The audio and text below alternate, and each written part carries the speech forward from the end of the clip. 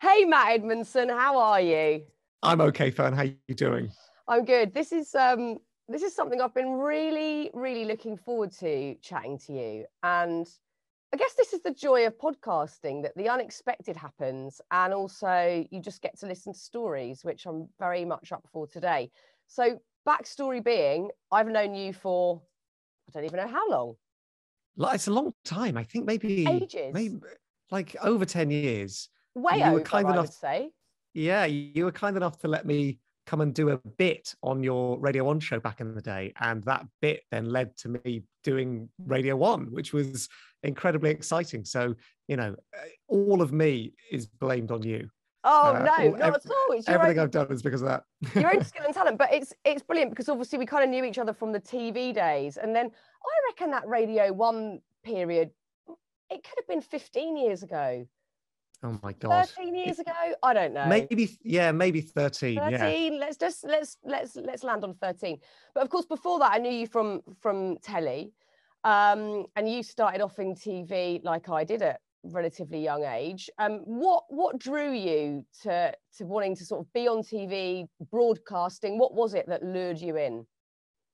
So, I mean, I was obsessed with it from a, yeah. from a very young age, and uh, the thing I was obsessed with was continuity links. So that's the bits in between shows. And it's sort of the bits that I started off doing. So, you know, when someone would say, Oh, that was Blue Peter, here's Newsround.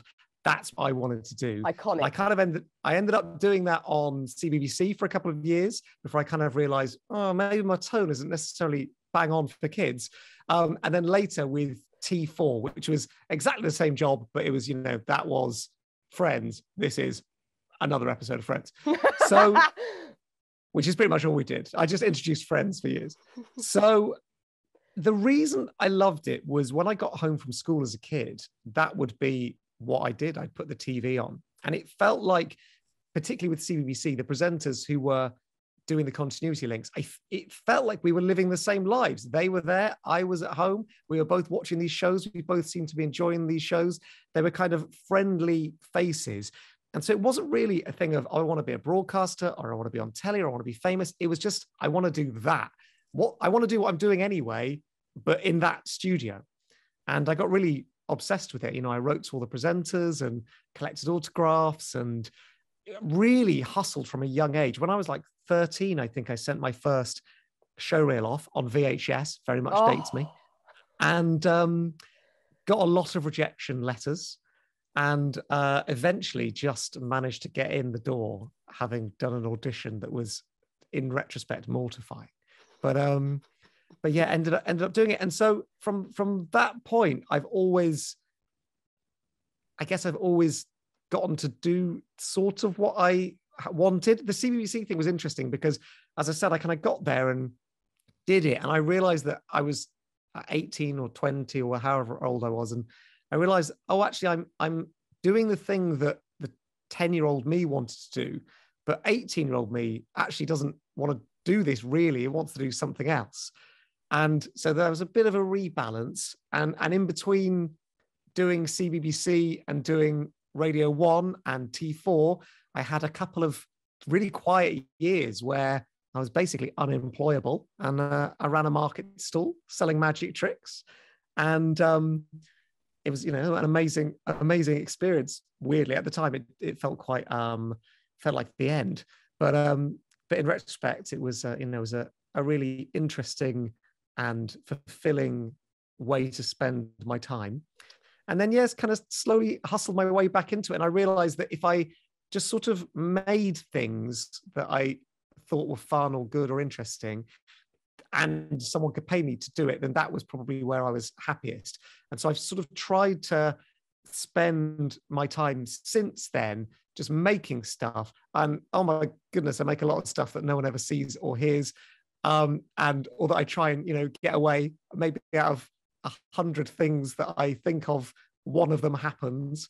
I love them all equally, and and I I guess I became a bit obsessed with the process of making things and then seeing if I can get them out of my head. And so that's sort of how I spend my spend my every waking moment now.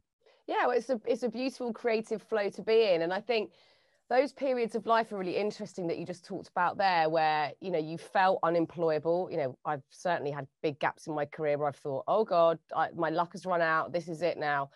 But i think i now like to view them as moments where you you outgrow yourself you know you you you outgrow the old skin and you you start a new chapter. And actually that is so exciting and liberating. Of course it's shit scary but it's a really good place to sort of learn and grow. And and also you're you know incredibly dedicated and hardworking. So as you said you know you you pick yourself back up and you you make new things happen. And that's exactly what you're doing. And we're going to get onto your creative flow in depth in a bit because you're doing some incredible stuff that I'm so excited about but there, there's so much more I want to get to first so this episode of happy place came about because you you sent me an email and it was really nice to hear from you I haven't seen you in quite a while and I sat there reading your email, um, just kind of, you know, really grateful that you were willing to share your story with me.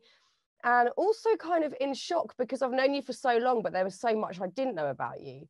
And it's so interesting how that is often the case that we will work with people every day or we will see, you know, parents at the school gate and we just don't know the half of it. And it and it that is certainly the case with you. So, you know, you had this moment last year, October last year, where you decided to talk very publicly about a part of your life that you hadn't before, but via the medium of song. And you released this song called Your Car, which is about your your late dad.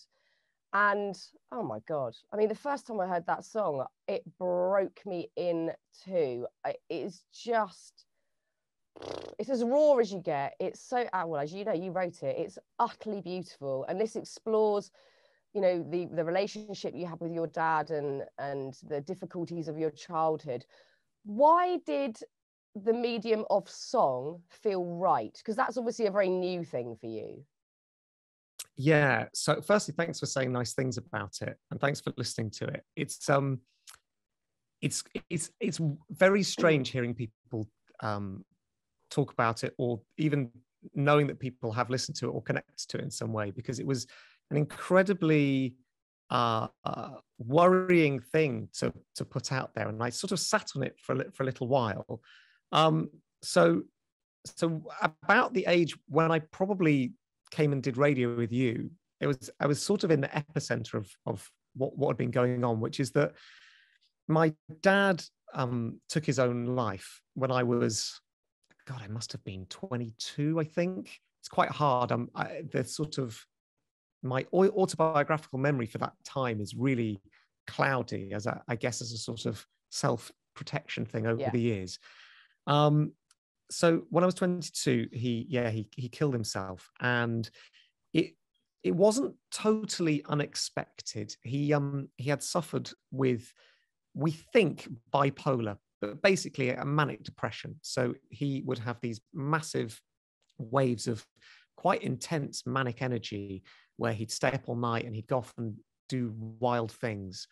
Um, and then the flip side of that is that he was deeply, deeply depressed. And, um, you know, I've experienced, and we'll talk about it later, I've experienced depression to a degree, but what he was suffering was, in, I've sort of never seen anything like it. it was incredibly debilitating. He, he, he sort of couldn't get out of bed or do anything. And he was incredibly anxious. And, um, and he was sort of going through that. And then he and I, when I, when I was a teenager, he and I had had this tremendous uh, fallout, and we we hadn't really, well, he hadn't really reached out to kind of try and repair the bonds, and uh, and eventually I had to do it when I was sort of eighteen, and um, it was it was quite difficult because I didn't really like him as a person. I, I had a lot of hatred towards him but I also loved him because he was my dad. And um, I went to see him, and I, I, I could tell at that time that he wasn't really himself, and I didn't know what it was that was going on. And then he he made a he wrote a suicide note about maybe four months before he then eventually did kill himself. And uh, my mum found it, and he he basically intimated that he was going to go off and and uh, I think he said he's going to walk into the sea or something like that. Anyway, massive like police manhunt. They they were incredibly quick at reacting, and they went and they they found him. And at that point, I was living in London. I was like, right, this is bad. Something's going on here. I'm going to have to go home and have a chat. And I went back, and he was just incredibly depressed, and um, he he felt very helpless. And he revealed to me something which now I know it. I almost feel foolish for not putting the pieces of the jigsaw puzzle together when I was a kid, because there were so many signs there. He revealed that he was an alcoholic. And as soon as he said it, I was like, oh, I, do you know what? I kind of must have known that on some level. My own relationship with alcohol's been that I've never wanted to go near it. I've never, never touched it. My sister was the same. So there was something, there was obviously something about it that had connected with me. And since working with the therapist to kind of explore this stuff, which I had really tried to bury very deep because it was extremely painful, um, I sort of was able to connect loads of dots from my childhood.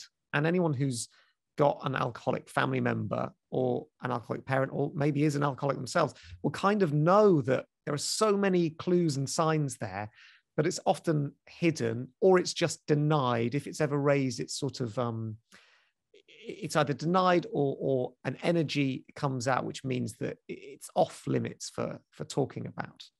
And that was very much the the sort of the energy of the household. You know, it was if anything was ever mentioned about um, drinking, it was just oh no no no swept under the rug, or you know my dad would get angry about it, and so when he said to me, I, you know, I think I'm an alcoholic, immediately we kind of, well, firstly, for me, it was a, a revelation of how did I not know this and how could I have not helped sooner? And the first thing we did was try and get him into an AA meeting, which he went to.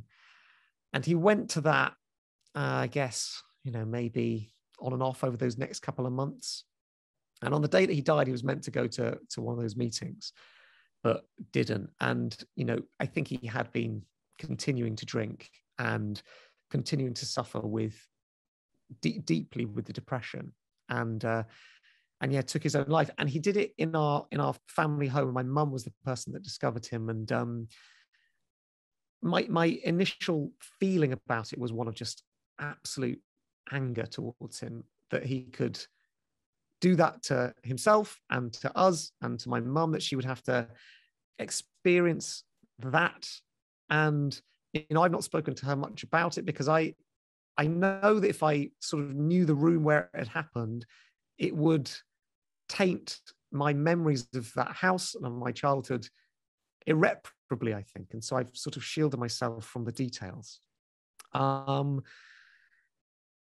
so I had, so it, it happened, this thing happened, and I sort of felt like I was sucked from my life in London, which I'd sort of run away to anyway because I'd had such a bad relationship with him. You know, I left house as kind of early as I could really and got got out and was really lucky that I landed CBBC and was able to kind of embark upon a, a life away from my childhood. Um, but it sort of sucked me back to to Portsmouth, which is where I'm from, for for a few days, and you know we had to arrange the funeral. And anyone who's been through this, it's just it's chaotic and my mum was in no state to do anything and i i guess i took on the energy of like the organizer which is very opposite to my general life i'm very disorganized. But i was like right i'm going to ignore the hatred and the sadness i'm just going to we're going to organize a funeral and i'm going to go back to my life. And that's what i did and I, I came back to my life and i just did not talk about it with anyone for years and years. My closest friends wouldn't, you know, they came to the funeral, they knew what happened, but we just never spoke about it. It was utter, uh, almost like a denial that it had happened because I was so angry, I was so angry and so upset. And uh, and it was easier, the story was easier in my head for it to be, oh, I didn't like him anyway. He's dead now.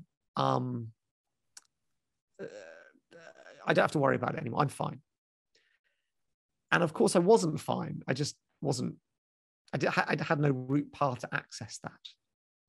And then I guess around my sort of mid to late 20s, I I started getting depressive episodes. And I I thought, oh, I maybe I've got something like my dad had, you know, some sort of depression.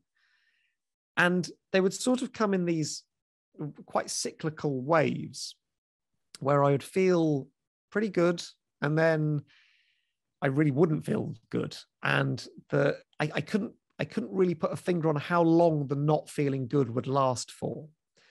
And when I wasn't feeling good, I was, you know, really panicked because anyone who's experienced depression, you sort of feel like as much as you can reason, oh, this maybe won't happen forever.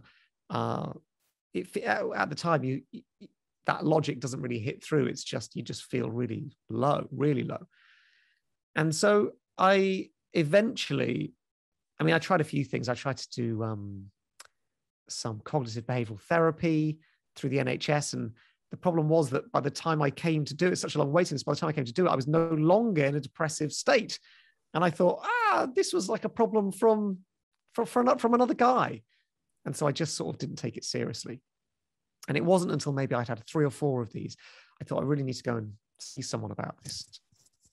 I went to a doctor and said, Hi, I, I have this thing where um where I get depressed quite a lot and they said, "Well, there, are there any other symptoms?" And we sort of spoke through my personality, and they said, "Oh, yeah, we think you've got this thing called cyclothymia." And then I went to see a, um, a psychiatrist or a psychologist. I can never remember which one it was, but the person that categorizes these things, and they said, "Yes, you have this thing called cyclothymia," and I, I'd never heard of it before.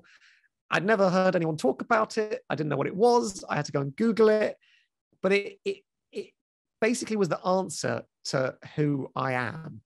And I always thought I was someone with a lot of energy and excitement and productivity. But it turns out that that's sort of the flip side of that depression that I was talking about. And I came to realize, and actually it happened around the birth of my kid, Ivy, I was in one of these slightly more manic phases or up phases. Manic maybe isn't the right word, but it's it's like a it's an ultra productive. You feel almost invincible. It's if you've ever been in a in what people describe as a flow state where the universe kind of disappears and you're singularly focused on a task. I was sort of in a perpetual one of those, which is amazing if you're trying to get ideas out and be productive, but it's quite destructive for the people that you live with because you know you don't you forget to eat. You're not interested in life. You don't want to go for a walk. You just want to zone in on whatever this idea you've got which feels like the most important thing in the world. Want to zone in on that thing. So i thought i'm a guy with depression but it turns out i'm a guy with depression and with this sort of flip side of it. And cyclothymia is it's sort of like a watered down bipolar. So if you think about the extremes of bipolar as being uh, hypermania, so staying up all night, being awake for days, not wanting to sleep. I mean, there's lots of symptoms to it, but it's sort of manic, often risky, um, a sort of slightly obsessed behavior around doing things that feel fun. And, and in that state, state, you feel like, I guess, the happiest a person can feel, or the, or the most up a person can feel. Like, think of your best day when you look at yourself in the mirror and you think, "Oh, I'm, I look great today," and I'm really successful. I've got loads of great ideas. It's that energy. And then for a manic depressive or someone with bipolar, the other end of the scale is very deep depression, like I described that my dad had. And so with cyclothymia, it's those same bookends, but the threshold is it has moved in. So the mania is never as manic as someone with bipolar, and the depression is never as deep as someone with bipolar, but you're sort of touching the sides of it. And so for me, it manifested as something, this energy where I thought, oh, it's I'm just a really productive guy. And often people would say, how are you doing all this stuff? You, you've, you've made so many things in the last month. My agent would be like, oh, can we get this thing? You know, I know it's going to take you probably a, a month to get it like a pitch or something for a TV show. And the next day I'd have it. And it was this sort of energy that I would fall into where you'd get, I mean, it's so hard to describe, but you'd get um, days or weeks worth of stuff done in hours because you were just locked into it. And if you ever came back to it, and I find it all the time, if I ever come back to something that I worked on at a time when I was in a sort of up cyclothymic stage, I've got no idea what it is. I don't know how to undo it. You know, sometimes I've had to go and tweak things in presentations or make alterations to some of the board games I've made, or or even with the song stuff, check going and change stuff. And I, it's like it was made by somebody else. Wow. And so, and so I realized I had this sort of. It wasn't that I was just depressed. I had this sort of dual thing going on. And the minute someone put a label on it, it changed my life because I was able to understand, oh, I'm not just depressed. This is a thing that's going to come in a wave. And maybe I can, if I don't fall into the up as much as I have done, and that's a really hard thing to do because it's like someone opening the gates to Disneyland and saying, run free. But if I can stop myself from doing that and I can kind of try and control that flow state a bit and not let it control me, brilliant. But also, now that I know it's the sort of the, the other side of the same coin with the depression, I can kind of trick myself out of falling into a depression by using some of the things that I would do in an, in the up stages. And since since getting just the word cyclothymic and knowing what it was, I've been able to just clock myself and go, oh, I have that, I have that feeling that I really want to drop everything else in my life and go and work on God knows what. Maybe I should give it a couple of days I know that's hard. It feels horrible to do, but maybe I should just not fall into it. And if I'm still as excited by the idea in two days' time, then I can approach it and I can control the flow rather than it control me. And then similarly with the, if I start to feel low, I can say to myself, okay, what can I do that's going to take my brain out of the obsessive, spiraling, anxious, depressed, um, uh, what's the word? Like a when you catastrophizing sort of state of mind and maybe switch my energy into something that feels has the illusion of productivity. And that's where the music came in. So i you know i obviously play songs on the radio all the time but my engagement with music was really passive. And we'd had a piano in our house as a kid and i'd never touched it didn't touch it once. And i really thought why why would i do that? What am i going to get out of that? I can't i can't sing i can't you know i have no interest in learning it and then for the radio, I had this very transformative experience where I got to go to a recording studio for a day to make a silly song. And I guess, as I've just described, that I've spent my whole life, or like my favorite energy really is I've got an idea. Can I get it out into the world? It's almost part of, I think, the condition. It's like if you think it, I have to almost uh, like expunge it from my body somehow. And we went into this recording studio and a producer there played a note that I just hummed a bit out of tune into a into a keyboard. And it was like the thought had directly been downloaded from my brain. And I l- liked that feeling. I thought that's amazing that this thing I've just I've just thought it and now it's there, it exists in this computer. And then we did it with another note and he did it again. And I thought, oh my God, I have to learn how to do this. It was, it was so immediate in that moment where I thought, I don't, I don't know where to begin, but I have to learn how to do that. And so I did, I sort of dabbled with it on and off, you know, played on GarageBand on my phone and didn't know anything at all. You know, I never played an instrument and uh, knew no music theory. I'd never, I mean, I literally never, never done anything musical at all. And then lockdown happened, and I thought, right, this thing that I've been sort of tinkering with as a hobby, maybe I should try and write a song. And I said to myself, I'm going to try and do a song about about anything in in that first lockdown. So I bought some speakers and I bought like a little keyboard that you plug into your computer despite not knowing how to play it. And I thought I'm going to sit and write a song. And I sat down and so I don't know music theory, but I know enough that I can play some chords in C major, which if you play piano is just all the white keys. It's really easy.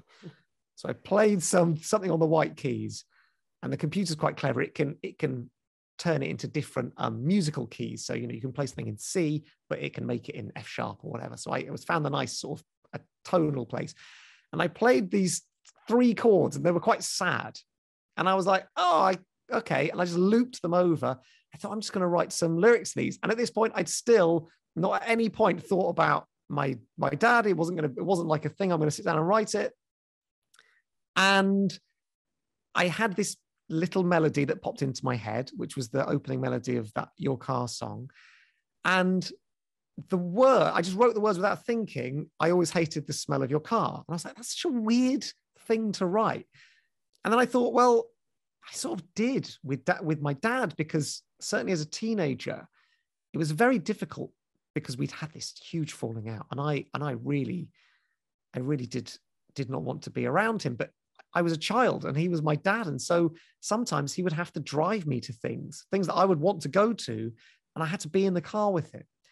And I I remember feeling at the time like I know he's been drinking, hadn't clocked that he was an alcoholic, but I was like I know he's had too much to drink and I feel unsafe in the car. And, but I have no other option. I can't get to where I need to go without him. And so I felt very fragile in that space. And I thought, well, maybe that's the song. And I wrote it honestly in about 10 minutes. And I, I was in floods of tears. It was a very odd experience. I was just in this, this spare room of our house, crying my eyes out as I wrote this thing. And it it um yeah it, hap- it, it came out of me incredibly quickly and it was sort of everything that i wanted to say and around maybe maybe six months before that i'd sought a therapist to go and talk about some of these feelings. And they were you know they were pushed down very low to the point where i said to my therapist she's like you know any major life events? And i'd explain some things that had gone on because i was feeling really you know anxious and um, uh, uh, depressed. And I'd found out about the cyclothymia thing and I thought maybe I should go and talk to someone about it all. And she, I said, well, you know, my dad killed himself when I was 22, but um, that's fine. I'm fine with that. So, we, you know, we don't need to go into it. And of course, anyone who's had therapy or is thinking about it, you know, in an incredibly organic way, they'll ask you questions that bring those feelings to the surface. And I realized there was a lot to deal with. And she had suggested that maybe I write a letter to my dad explaining some of the feelings or write it down somehow. And I kind of hadn't done it because it was too, still too painful. The idea of, even now, I think the idea of writing a letter to my dad, I would find incredibly hard because this it's such a swirling ball of um, very conflicting emotions. But there was something about putting it into this song where I hadn't decided that that's what I was going to do, and it just sort of happened. Uh, and then I so I had these, these piano chords and I and I had the song and I phoned my friend Amy, who I'd sort of met a couple of years back and I'd seen she was a singer and I'd seen her on Instagram and I just loved her voice. And I said, Look, I've written this thing. I don't I don't think it's ever going to go anywhere or do anything, but would you record it? Because I can't sing. I was like, could would you record it? And uh, and she just did the most amazing job at delivering it. And she gets something about this all this file and I spent maybe a month figuring out how to make it into a thing that sounded listenable because I'd never produced anything before. So, you know, it's like the first time you've learned anything, uh, it's like, you know, thinking about driving a car for the first time, it's it's sort of the same thing as that. You know, you you it's like sitting in a spaceship, you don't know what any of the buttons do, and it's kind of the same, but it's actually like a spaceship with with music production because there's so many things you could do. And um, so yeah, I just I just sort of worked on it with the view to never doing anything with it just just like it's a thing for me it's going to keep me happy it's going to keep me busy in lockdown and it's going to give me this new skill. But my god it was the most cathartic thing i've ever done because i sort of listened to the song maybe 500 times in the space of a month. And um and yes sort of figured out how to how to make a song. And then at the end of it i didn't do anything with it. I didn't even play it to anyone because i was too it was too exposing. And then the anniversary, the 10, the 10 year anniversary of his, maybe it wasn't 10 year, maybe it was more than that, but it was the anniversary of his, his uh, death was happening. And I thought, oh, I've made this thing. And it was kind of duly exposing because, you know, I didn't didn't know what I was doing with the music thing. And I guess I that part of me that's quite anxious, worried, what are people going to think? Everyone's going to think this song's rubbish. You stay in your lane, Matt. What are you doing? And then the other part of it was, I don't know if I'm ready to share this thing with people that I've just not shared with anyone. And I spoke about it with my wife, and I had to go and talk to my mum about it because obviously she's, you know, incredibly involved in the story. I spoke to my sister, and it was a hard conversation with my mum because I had to say, look, I've made this song about my about dad, and it's it's not all that positive. and it's this sort of thing that we've never spoken about as a family. I, I, I think I'd like to talk about it. She was incredibly lovely and said, you know, she listened to the song and she um, cried about it, and she was really sorry for all all the things that had gone on, and I guess her her role in it of probably knowing what was going on and, and not doing anything about it, and, and herself being quite passive. Um, and I sort of put it out into the world and I put it, if you've ever done this, you put something out and then just turn your phone off. I was like, I don't, I don't want to know really for a day or two how this has landed, whether anyone's said anything about it. Or, and I came back to it maybe 10 hours after I'd put it up there. I thought, what's going on? And in, in the interim, I'd had loads of messages from friends and people I'd known for years saying we had no idea and we've listened to it. And um, and amazingly, it was amazing how many people had been through a similar thing where they had a parent who was either an alcoholic or who had taken their own life, or unfortunately, both for a lot of people. And I just had thousands and thousands of, of messages from people in my DMs and in comments and things. And it was uh it was kind of one of the most amazing days I've ever had, really, because I just sat and read through all of these stories which were kind of identical to mine or a bit different or sometimes even sadder and uh, people just saying things like uh, they'd never been able to express to their partner what their childhood had been like and they could play them this song and it it made sense or even you know parents who messaged me to say i am an alcoholic and i've got a five year old and this song has been the impetus for me to change because I don't want my kid to think of me like that. It was such a, uh, sort of mixture of uh, just incredible stories.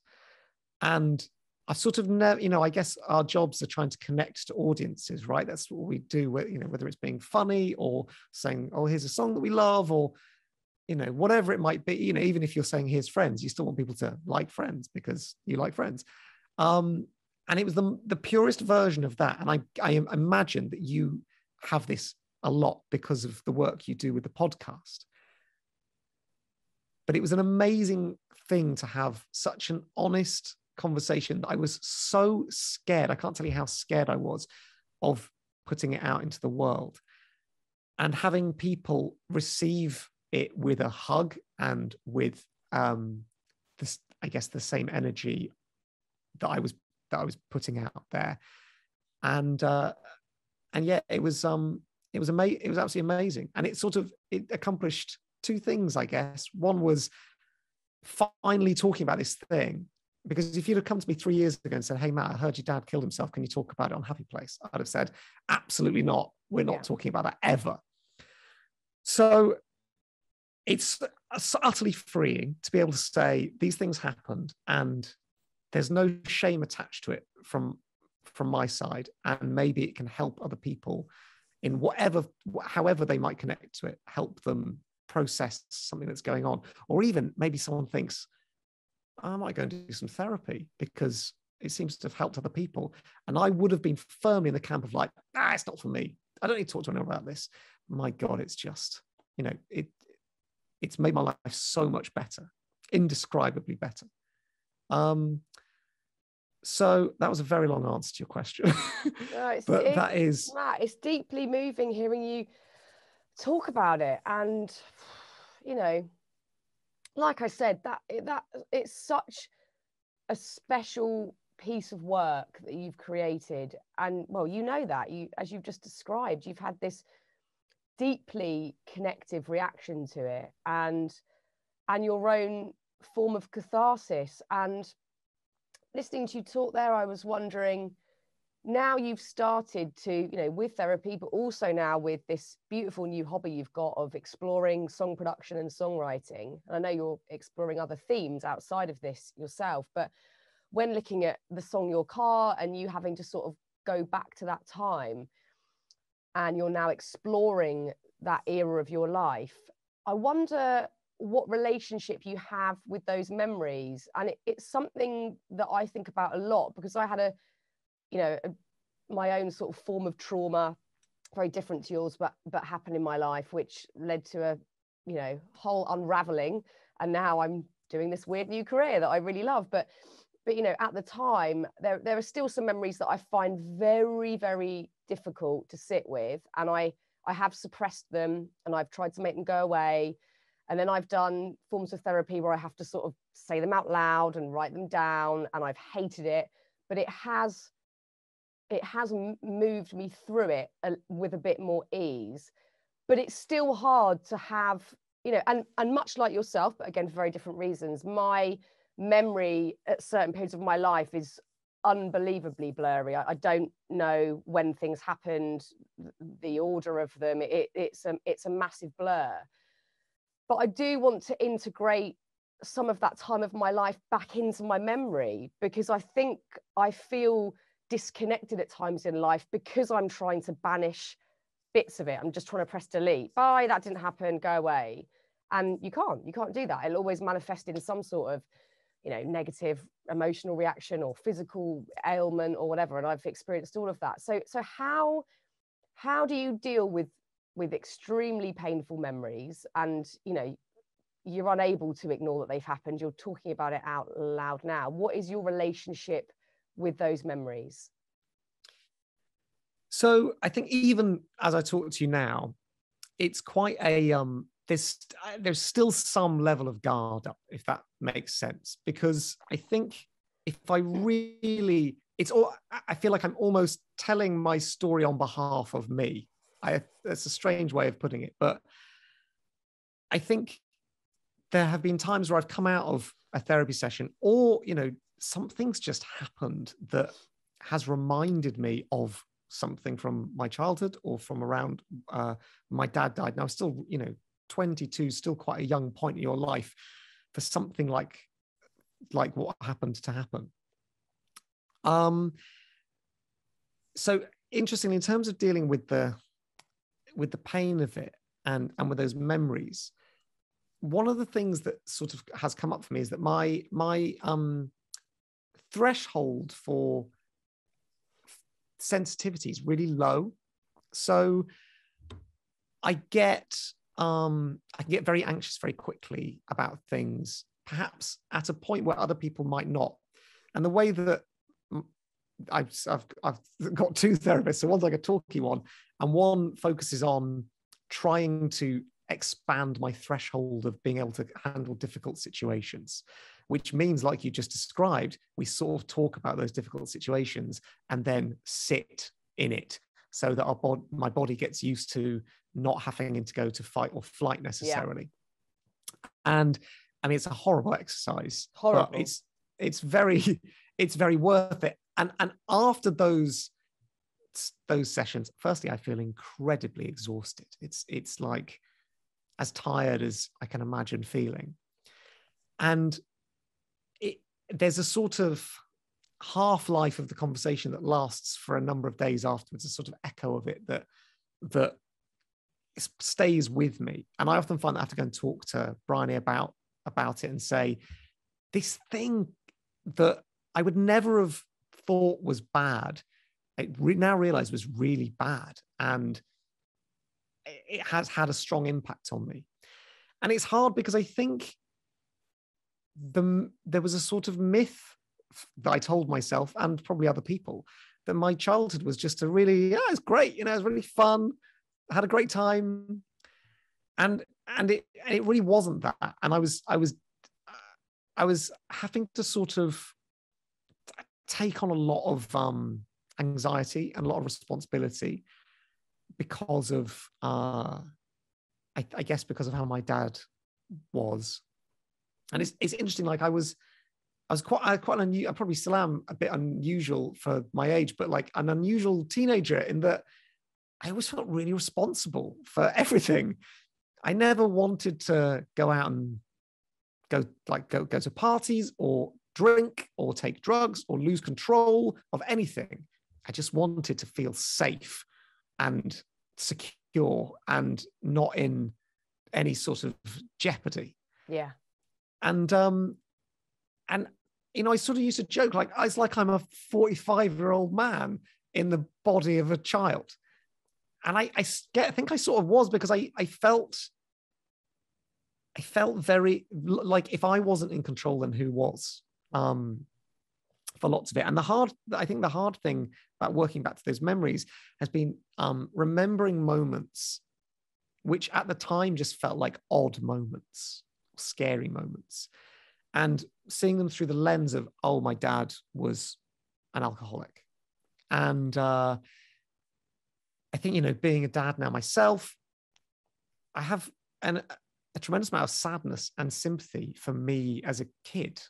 Um, because it's, it, th- some things happen that, you know, you should just shouldn't have to, shouldn't have to go through. And actually, my one happened about two weeks ago that sent me flying back. So, my wife Bryony is pregnant at the moment, and I did um, not know that. she had she's pregnant. We're having another oh, one. Oh, amazing! Uh, very exciting. Yeah, due in due in January 2022. So depending oh, on this has gone out, is either here or not here. Um, but um, yeah, so we're having another little little girl, which I'm very excited about. Um, but the other day, Bryony um had she'd just been doing too much stuff. She'd gotten up, she hadn't had enough water, she hadn't had anything to eat, and she'd been sort of running around the house. I think she's very much in the nesting phase. She's just tidying things up. And she said to me, I'm feeling a bit woozy. And then she fainted and vomited on our kitchen table. And it's about the scariest thing I've ever seen. So I was immediately on the phone to the ambulance. She came round after about 25 seconds.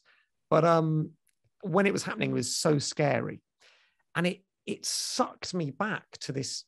And, and Bryony was very unfazed by it. She was like, oh, you know, I fainted before it's I know the reasons it can happen in pregnancy. I should I needed to just take it a bit easier. She was so relaxed, and I was like, that can never ever happen again, and that can never happen if Ivy's nearby, because I remember a a day. Ah, God, I don't know how old I must have been, seven or eight, and my mum and sister had gone out, and my dad was looking after me, and I was just upstairs playing in my bedroom, and he'd put himself in this uh this like little outhouse room that we had. And he went in there to smoke which was another massive bugbear for us as kids like he was a you know he smoked all the time and, and tried to hide it and we we hated it but he would go in there to smoke and i assume now drink because i remember as a kid coming down and seeing him in the room and i needed him for something. I don't know what it was but i just needed him. And he was slumped over in the chair and he was kind of drooling and he looked dead like to a seven year old he looked dead and uh, i he'd locked the door and i couldn't get to him and i could see him through this glass and i i was i went into you know extreme panic because i thought he died and i was in the house all alone i didn't know what to do and i was hammering on the glass hammering hammering hammering and I thought, do I break the glass? Do I go? What do I do?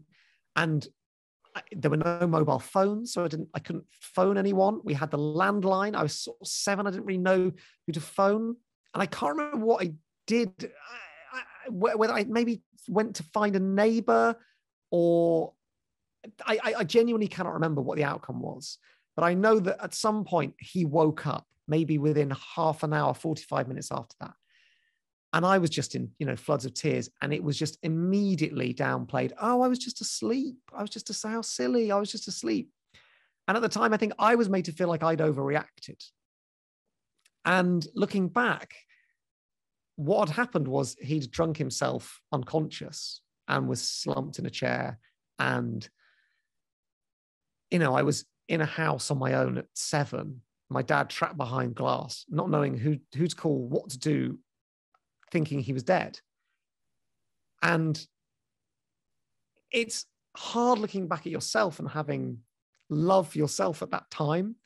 But if I imagine that happening to my daughter now, the sort of ang- the anger I would have if she had experienced that, and the sadness I would have if she experienced that. Um, I, I would never want her to to have anything like that happened to her. And so, as painful as it is to have those things come up, it's only by being, it's only through talking about them and actually feels liberating talking to you about it because I think I had, you know, shame and embarrassment and uh, I guess, uh, yeah, a, a, feeling of my own, I don't know, my own inadequacy attached to that thing that happened to me. And it was one of like many things that viewed through the lens of, oh, I had a dad who was both an alcoholic and also had these massive extreme mood swings. It's really hard environment. And my and my and my mum pretty much not not addressing any of it and just really sweeping everything under the rug. It's a it was a crazy stressful environment to to grow up in, amplified by um my my teenage years and, and I was and I was not getting on. So it was um so yeah, in terms of in terms of dealing with the the the pain of it, I found just continuing to talk about it, and I'm sure for every therapy session I have, there'll be an, another thing that crops up that I thought, oh, I thought that happened to everyone, um, yeah. and then realize, oh no, that was that was you know a res- that was not my fault, or you know that was a, something that happened because so, of the circumstances I was in. So interesting how, and I've I've definitely had this situation where shame stops you from talking and you you know I, I, I still have things now that i and i've done a lot of therapy but i still have things hidden that i feel ashamed to say out loud and I, and it's because i'm judging me not no one else is judging me no the therapist isn't going to judge me but i still have great lumps of shame that block me from saying it. And and like you've just eloquently put you know by speaking these things aloud that is liberation. It's, it's not going to take it away. It's not going to solve it. It's not going to eradicate the memories or the feelings but there is liberation in it. And it does i don't know how you feel about it but i think it does slightly dilute the situation. It's not such a big scary hidden thing anymore. It might just be a big scary thing but it's certainly not something you're trying to suppress and keep secret. And there is liberation in that. And i'm i'm really glad that you're at the point where you're, t- you're talking about it and you're you know you're you're working th- and it's a lot of work. And it as you said you know for every session you have there'll be another thing to work through. You know perhaps i think for most of us this work is is lifelong you know especially for someone like you that's been through you know deep trauma and has a lot of complicated emotions attached to it. It's um it's a real commitment. It's a real commitment but but always worth it even though it is extremely hard work always worth working through it. And you know and, and alongside the shame you've also got a really complicated flavor of grief going on. It's not straight up grief which is as horrendous as it gets anyway but you've got grief tinged with anger resentment. I don't know if this is just still past tense or, is, or if this is something you're still working through. No no it's it's it's still there. I mean yeah. The, the yeah the, the feelings have never never really gone away. I think it's so hard because there was so much unresolved stuff with my dad. And it's it's really hard to accept that it will never get resolved i will never be able to having come through this process, talk to him about it. Um, and it's it's quite hard. And, and I, I guess I also carry a sort of guilt about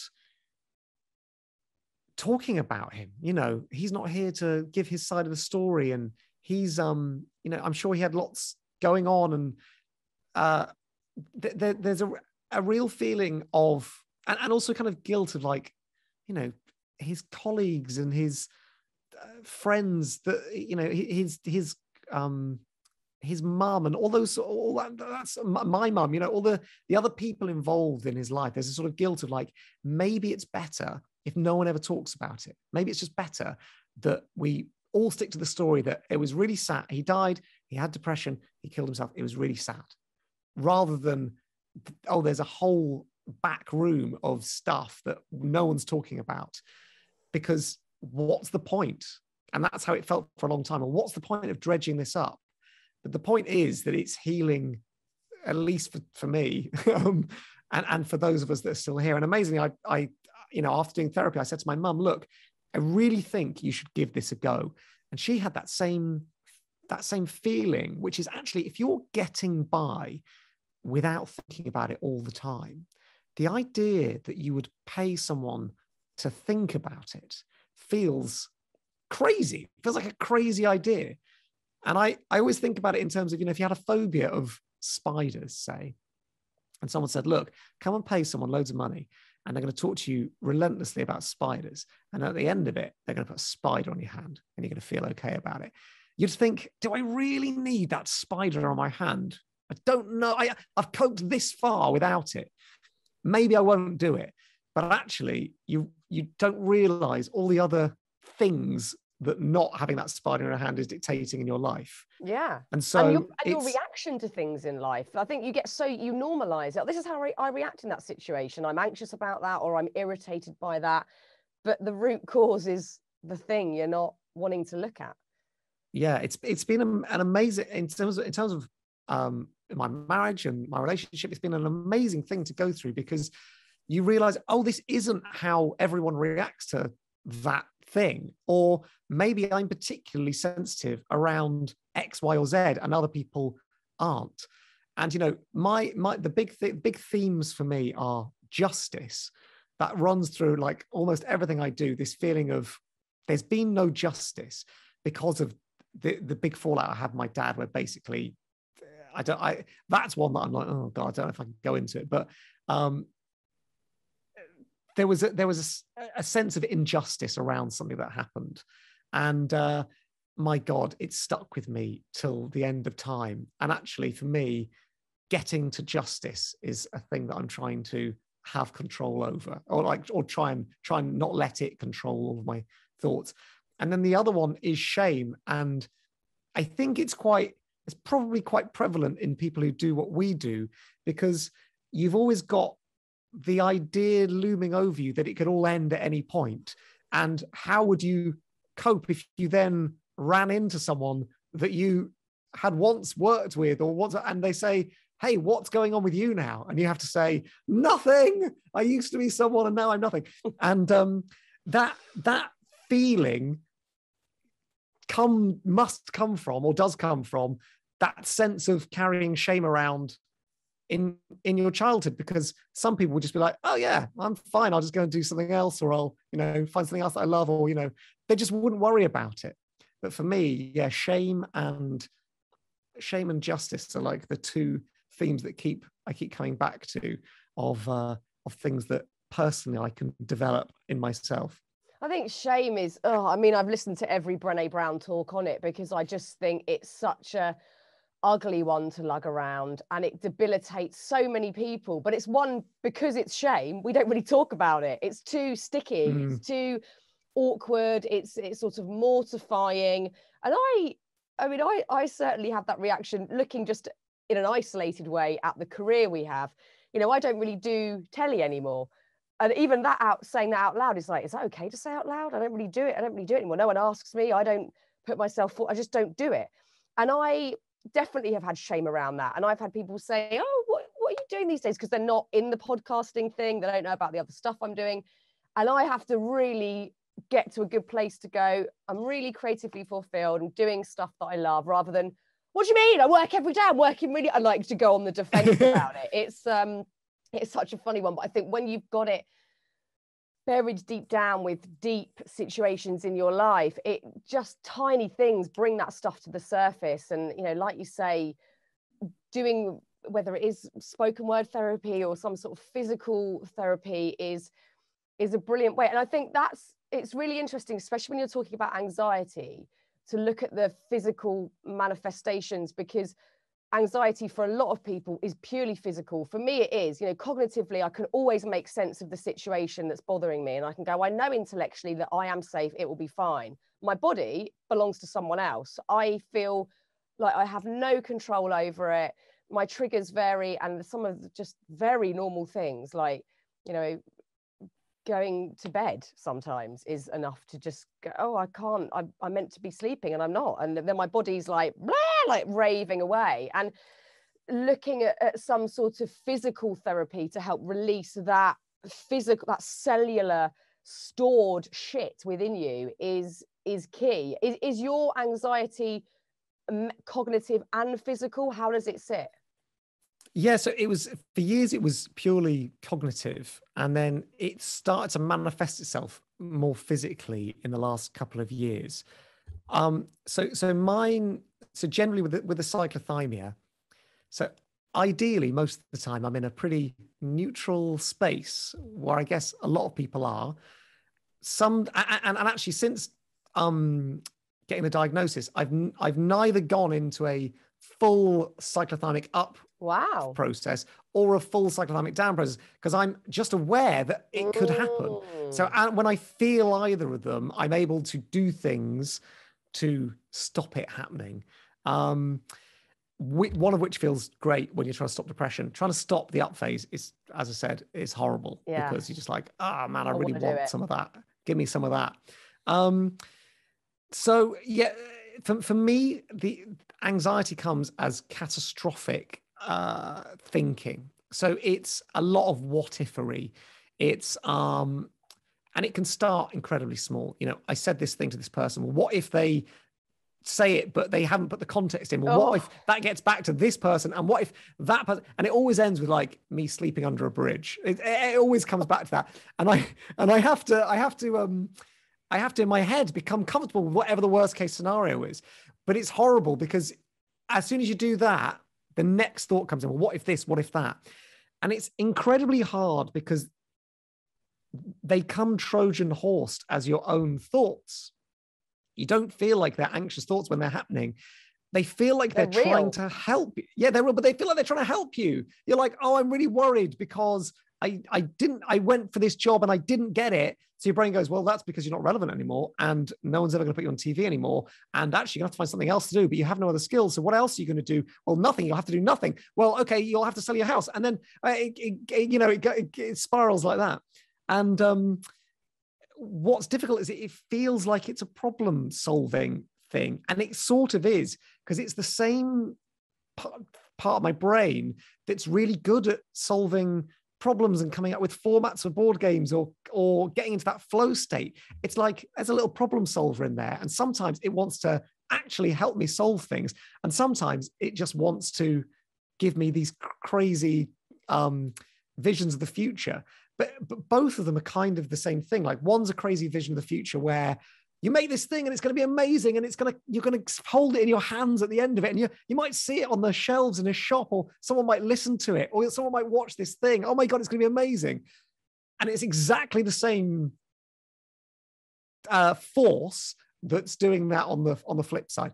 So when the flip side comes yeah it manifests itself as, as obsessive anxious swirling thoughts i just cannot get rid of and uh and yeah, in more recent years, it's it's manifested it in I sort of got like a tic, a sort of physical twitch. So I had a couple of panic attacks, which I'd never had before. I didn't really understand what they were, but my God, I know you, I know you have them, and um, it's just all it's absolutely awful, absolutely just the worst.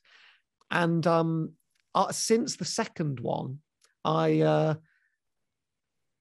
I get this thing sometimes where where I feel stressed or overwhelmed. And sometimes I don't even know it. I don't know that I'm feeling that, but something about the environment's making me feel uh, ill at ease.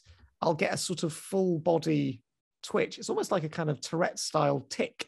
And, um, and I'm so, and that, that's what led me to this physical therapist to try and figure out like what's going on, how can I deal with it, and uh, it doesn't happen all that often, but when it does, it's really, I mean, it's a bit annoying to be honest, because sometimes I, even something stressful on TV, something, something that happened on TV. I watched Squid Game.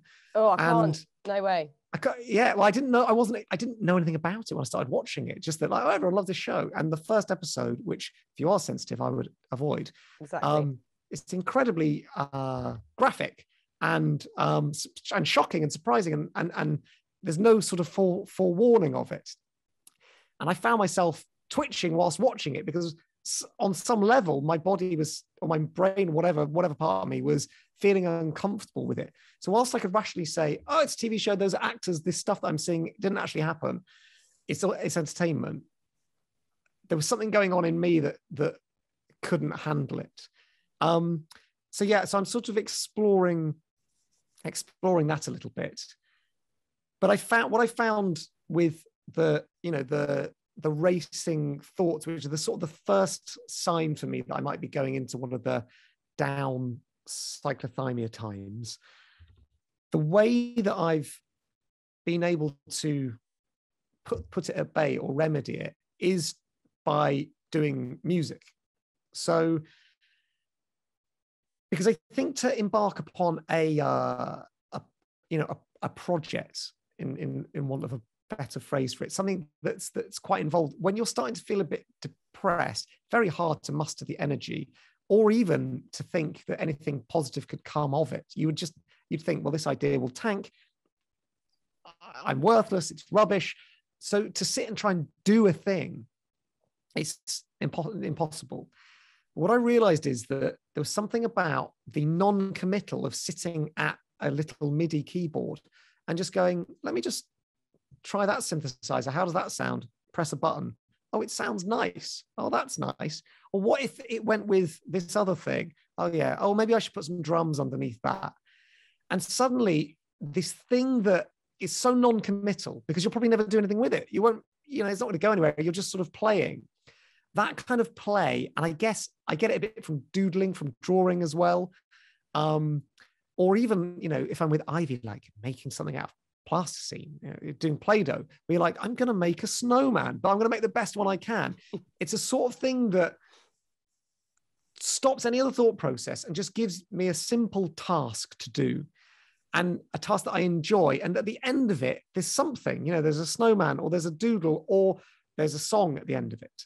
And so I found that now, whenever I have a, have something that comes up, and my God, there are so many things that trigger me into anxious thoughts, but if something comes up that triggers me, and Bryony knows it now as well, she's like, just go upstairs, go upstairs and do an hour at your computer, just pressing keys on a keyboard and making something because it's it's always going to sound okay. Like there's something's going to come out of it, or you're always going to learn something. And it switches my attention from the horror show that's happening in my mind onto something else.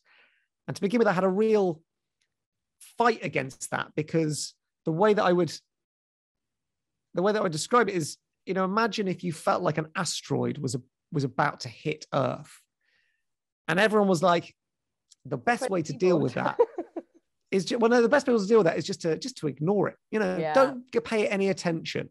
And you're like, guys, there's an asteroid coming. Why is no one else panicking about this? It's coming. And it feels as real to you as if it's there in the sky. And all the advice you've been given is try, don't give any attention to those thoughts. Oh, it's so hard. It's impossible. And, and actually, just by accepting, I'm going to give my attention to something else that's as meaningless as this worry, because, you know, worrying about something, I can't remember, there's a quote, it might be a J.K. Rowling quote, but it's like, what if you worry, you'll you'll make yourself suffer t- twice. Yeah. Because it the thing may happen, and if it does, you'll just have to deal with it when it does. And if it doesn't, and you've spent this chunk of your time worrying about a thing that may never happen, and it's a horrible, cruel, awful, destructive energy. And so rather than worrying about it, I now try and slip myself. I try and yeah, uh, trick myself into a, into a bit of a flow state and then but a very non-committal one.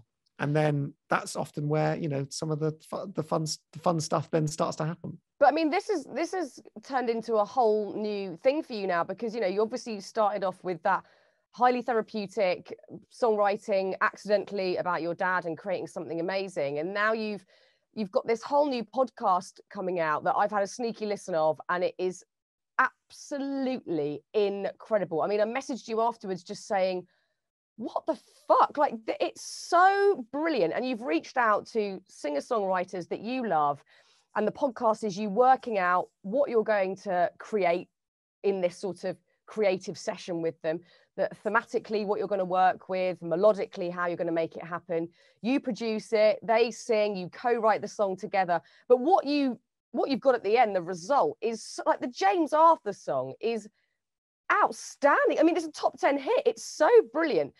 But I wonder how, because you know, you've talked about how the, the music and the songwriting helps you get from that that low place or that anxious state. But with you know that is quite a committed project and you've got a number of episodes in the series and some really like high caliber people you're working with. How did you stop yourself from going into the sort of more you know the the, the manic or whatever you want to call it the other end of the spectrum where you're a bit one track minded with it? Yeah so um when i when i first had the idea for it it definitely came from that mm. that energy of like oh my god i could do this thing. And at the time you feel i certainly i it felt like it won't take long. And i remember saying to Bryony she was like man this feels like quite a big commitment given that you don't know how to make songs you've never made a song before. It feels like quite a big thing to message all these people and see if they want to come and do a song. And she said maybe just try one and see how it goes. And i was like honestly i think it's going to take me a day to make us to do it which was obviously ridiculous. Now I know what I know. And I think if I'd known what I'd known about the process, I may never have started it because there was so much to learn. I can't, you know, anyone who's ever tried anything like that, I can't begin to tell you how hard it has been. Um, but I, I, I did the first one. I, I, reached out to a girl called Maisie Peters, who's fantastic. So she's been si- just signed by Ed Sheeran and makes brilliant pop songs. She was really generous and gave me three hours to try this thing. I, I, literally, I never even made a podcast before. I hadn't, rec- I hadn't plugged in recording equipment. I'd never, the only song I'd ever written was that Your Car song. And at the time I hadn't released it. Uh, and it had taken me over a month to make it. And I said to Maisie, we're going to do this thing in three hours. We write the songs. So we kind of wrote the lyrics together. And then she sent me a vocal track. And I had the same feeling of like, how do I, how do I get this done? Because it was the sort of up version of me that started it, and then the kind of slightly more mortal version of me that was having to fulfill it. And it was around that time that I was coming to doing the therapy, coming to terms with the cyclothymia. And I just treated it, tried to treat it like a job because it was in lockdown and all my other work kind of went away. Still doing the radio, sometimes from home, sometimes not. And I and I thought, well, it's lockdown, there's nothing going on. I'm going to go cra- genuinely crazy. I worried about, you know, being trapped in my house with my own thoughts for that time. I need a project. Why don't I just try this? And if it if it works, great. It, not something, nothing may ever come of it. I'll give it a try. So I did the first one with Maisie, and she sent me her vocal, which was fantastic. And I had the same experience that I had on your car, which was I don't know how to make this thing. Like, how do you do it? How? I, I have no idea. And so I w- just worked at it for a month and made the song and finished it and played it back to her and uh, and it kind of went well. And I was like, right, I want to do it again. And I think like anything you do, you get better at it every time you do it. And because it was like, I treated it like a job. So I, I said to myself, right, I'm going to start it at 9 a.m. and I'm going to finish it at 5 a.m. And I'm going to spend all day doing this. For this month, I am a music producer, even though no one knows it. But when it comes to five, however much I want to continue, I'm going to stop and I'm going to go and I'm going to hang out with Ivy and with Bryony. And sometimes that was really hard. If I'm honest, it was really hard because there was that. The, it's so hard to remove yourself from a flow, from a flow state. And I'd spend the, the next morning, I'd spend the first two hours going, what did that guy do yesterday? That because it felt like a different person, trying to figure out why would I have done that? But in the moment I did it. So every day it was like this discovery of basically opening someone else's work. And I, you know, I did the first one, did the second one, and every time, like anything, I just got better at doing it. And I learned loads of stuff. And, you know, I listen back to some of the songs and go, I wish I'd known about mid side EQ then. uh, or whatever it was. And then in all of my my free time, I would watch YouTube tutorials of people making songs, or I'd you know very specific. It was quite good because each song had its own genre. So you know Becky Hill, I've got to make a house song well, how does that happen? Or James Arthur, I've got to make a kind of crunchy electric guitar thing. Mm. So how does that work? Or, you know, with Tom Walker, I wanted like a massive chorus that had an impact. I've just the one with Sigrid, and I wanted like a chant, people chanting along as part of the chorus. And so, project by project, song by song, you carry with you what you've learned from the previous ones. But also, you know, everything's on the internet. If, if you want to figure out how to make something, if you do enough searching, you'll you'll find it and and so yeah i treated it i tried to treat it as much like a job as i could and the workload has been ridiculous. And obviously, then since the world opened up and a lot of my other work came along, and I sort of at the same time as doing this, my two lockdown projects were this and this uh, board games company, and they were sort of coexisting and vying for my attention. Um, I feel like I've come to the end of both. Or, or, I'm nearly at the end of that um, that process with both of them now. I've got a couple of the songs left to mix, and all the board games are now finally out. And there's a couple of tweaks we're making for them internationally, but they're mostly done. Um, but it it sort of saved my life in in in the pandemic because it's I find it very hard not having something on. Uh, yeah. and I and it genuinely doesn't ever need to see the light of day in a weird way. It just turns out that these two things have seen the light of day. But it honestly, if I could have made the one of the board games and played it with a group of mates once, and they'd all said, "Oh, we really enjoyed that," I'd have been able to rest easy because it's just the process that drives me rather than the result of the process. Um, and for me, the minute I play the song back on Not Another Love Song, the song's back to the people, and they go, "Oh, that's better than I thought it would be." I'm like, "Oh, I don't need anything else. Yeah. I'm just happy that I'm happy that I made a thing." Uh, so, yeah, I mean, it's been it's been the most amazing and fulfilling and sort of um, life altering thing because I think you know I was I was I wasn't still am wedded to the what I imagined I'd do for a job as a kid. It was like, yeah, I'm going to be a TV presenter. And I don't get me wrong, I love it. I love, still love being a TV studio. But do I love sitting in this room making a song more? I don't know. Maybe I do. Yeah. Um, and and actually, maybe I'm truly at my happiest when I'm just sort of quietly making something yeah, and, fi- and, and, figuring out how to make it. And like the you know the learn the learning is, I like that almost as much as anything else. It's it's quite strange. I, you know, I I didn't. I, I was quite good at school. I was I was good at doing school, but I never really enjoyed it. I never really had sort of a love for learning necessarily. But um, but I can't, you know, I, I can't get enough of it when it comes to this stuff. It's I'm I'm so if you saw my internet history, thing, this is the most boring man. He's just like reading about compressors. This is not only the power of music, which obviously we've we've both got a you know radio career going on, and it's it's deeply impactful. We know that for the audiences, but also for us, and also for me, it's you know it's the power of creativity. It it, it can it just it saves the day every time. And a lot of people out there think they're not creative, but everybody has a propensity to be creative, to create something. And it just so happens, like you say, that your stuff is seeing the light of day. But not only that, we can't downplay it. What you're creating is beautiful. And honestly, I urge people to listen to this podcast because I just found the whole process astounding and so brilliant. And you can hear the cogs in your brain whirring as you're sort of trying to work it all out. And it's it's an extraordinary idea. And um, and I wish you all the luck and love with it. And and honestly, I, I can't thank you enough for first of all for for sending me the email that that acted as a catalyst for us to do this and for talking so openly. I I know it